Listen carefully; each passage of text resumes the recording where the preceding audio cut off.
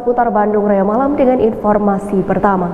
Pemirsa mencegah mewabahnya virus COVID-19 atau virus corona, Kepolisian Sektor Marga Asih menggelar inspeksi ke tempat hiburan, warung internet atau warnet, serta ke tempat panti pijati kawasan Taman Kopo Indah, Kecamatan Marga Asih, Kabupaten Bandung.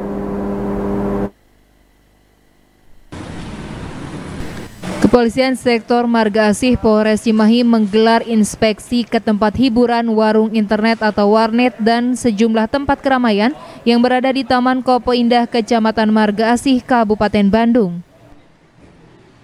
Kepolisian berhasil membubarkan pemain game online serta melakukan pendataan kepada pemilik warnet agar tidak membuka warnetnya pada saat pandemi virus COVID-19 terus mewabah. Selain itu, petugas pun memberikan teguran kepada pemain game online agar tidak melakukan aktivitas di luar rumah. Inspeksi tersebut diharapkan bisa mengurangi kerumunan massa yang bisa mengakibatkan penularan virus COVID-19.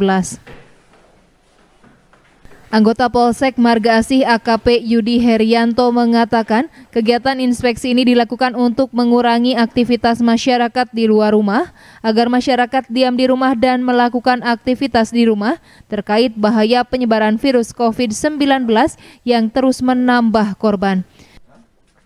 Sanksi tegasnya kita tutup game online-nya sementara sampai ada pemberitahuan lebih lanjut. Kemudian untuk anak-anak sekolah ini sudah kita uh, panggil orang tuanya dan kita uh, beritahu ke pihak sekolah.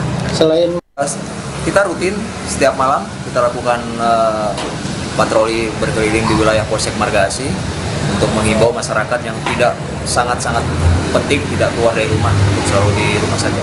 Kegiatan inspeksi tersebut akan terus digelar dalam rangka upaya mengurangi dan mencegah penyebaran virus COVID-19 yang sedang mewabah di Indonesia.